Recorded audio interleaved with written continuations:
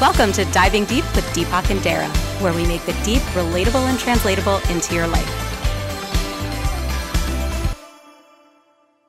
I want to talk about a taboo topic for many, which I personally don't believe should be taboo because it's such a part of the life and human experience, which is sex. And I honestly don't have a question for you. My question is simply let's talk about sex. And can you share some feedback on the way it's been acculturated and what role it plays in our lives? Well, um, sexual energy is the same thing as spiritual energy. It's the creative energy that is present in all living beings. We wouldn't be alive, we wouldn't be here were it not for sexual energy. So, um, anytime people repress that energy, you have pathology. You're seeing all the scandals in the Catholic Church, but it happens almost anywhere where uh, there is repression and guilt and shame about uh, sexual experience. So, in my mind, sexual energy and spiritual energy are the same thing. They're the creative energies of the universe present in all living organisms. Now, human beings are a very interesting species.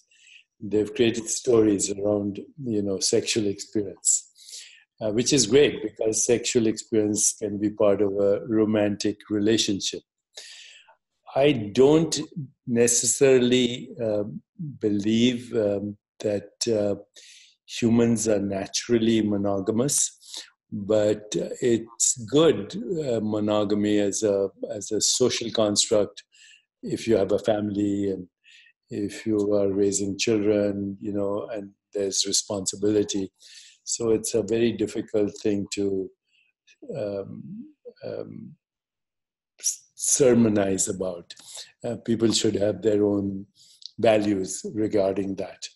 Having said that when people are in relationship then uh, if uh, sexual experience is not value based, then it ultimately um, it falters. You know, if it's sex only for the uh, reason of pleasure, which is fine too, but um, it won't be a lasting, uh, fulfilling experience.